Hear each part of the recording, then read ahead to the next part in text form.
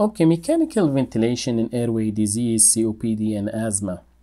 Please, before you watch this video, please make sure you watch videos numbers 57, 58, 59, 60, 61, and 62 in my playlist about mechanical uh, that called mechanical ventilation from a beginner to pro because there I explained in details gas trapping and auto-PEEP and how to fix it.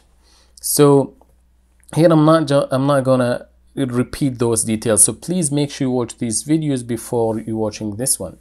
So as all of you know that COPD and asthma severe exacerbation patient usually require mechanical ventilations.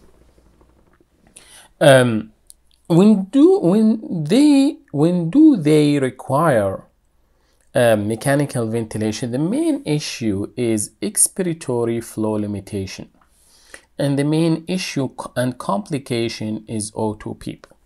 Of course, on top of treating treating the exacerbation with steroids and airway and this and the bronchodilators and sometimes antibiotics the main thing you need to give adequate expiratory time in these cases to prevent auto-PEEP. Now, how to prolong the expiratory time or give adequate ex expiratory time, how to check for auto-PEEP, how to treat it, all of this was explained in details in these videos here. So please watch them.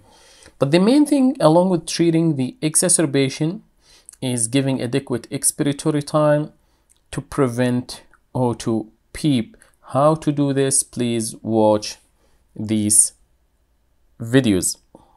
As I explained in those videos which mode um, to use and the complication of using um, volume control and pressure control all of this was explained in detail so please watch that those videos.